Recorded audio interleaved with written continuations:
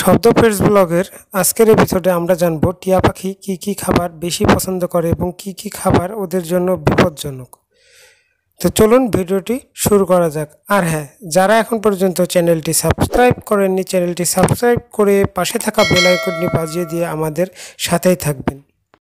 টিয়া পাখির পছন্দের খাবারের লিস্টে প্রথমে যদি শুকনা খাবার বা সিড মিক্সের কথা বলা যায়, তাহলে বলা যায় ধান, গম সূর্যমুখী বীজ, কুসুম বীজ, চীনা, কাউন, মিলেট, ক্যানারি হ্যামসিড এগুলো থাকে। তবে হ্যাঁ ছোলাও এদের বেশি পছন্দ, তবে ছোলা এদেরকে হালকা পানিতে ভিজিয়ে দিতে হয়। আর হ্যাঁ যেসব সিড মিক্সের কথা বললাম, এগুলো ঋতুর ভেদে মানে গরম এবং শীতকালের ভেদে আলাদা আলাদা হতে পারে।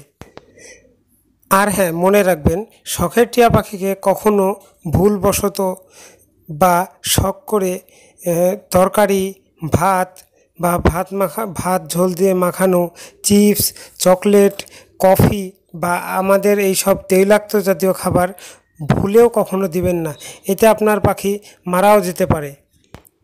এবার আসি ফলমূল বা শাকসবজির দিক দিয়ে পাখিকে কি খাওয়ানো যেতে পারে? পাখিকে আপনি ঘাস দুবরা ঘাস বা যেই সব ঘাস ছাগলে খায় সেই সব ঘাস এবং সব ধরনের শাকসবজি দিতে পারেন।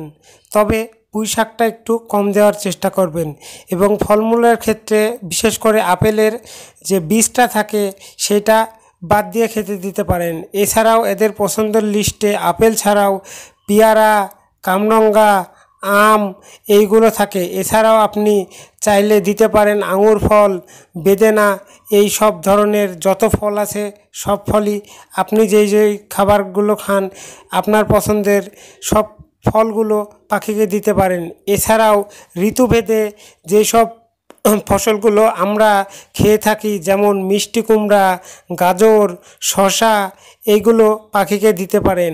চাইলে আপনি ভিন্ডিও পাখিকে দিতে পারেন এবং শাকসবজির লিস্টের দিক থেকে কলমু শাক, লাল শাক সবুজ শাক, এইগুলো এগিয়ে থাকে। এগুলো পাখি খুব বেশি পছন্দ করে আর হ্যাঁ। মনে রাখবেন এগুলোর পাশাপাশি পরিষ্কার ঠান্ডা পানি পাখিকে প্রতিনিয়ত দিতে হবে। এতে পাখির শরীর অনেক সুস্থ থাকবে। পানীয় টিয়া পাখির শরীর সুস্থ রাখতে অনেক ভূমিকা রাখে।